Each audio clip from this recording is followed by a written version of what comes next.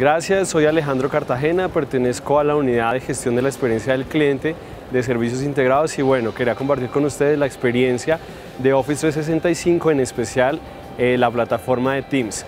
Nosotros somos un grupo que espacialmente está distribuido a nivel nacional. Tenemos una persona de servicio en cada una de nuestras sedes, tenemos un contact center en Bogotá de 30 personas y un contact center en Bello de 10 personas. Una herramienta como Tips nos ha permitido, aunque estemos espacialmente en diferentes lugares, trabajar conjuntamente, trabajar integralmente y mejorar nuestro trabajo en equipo.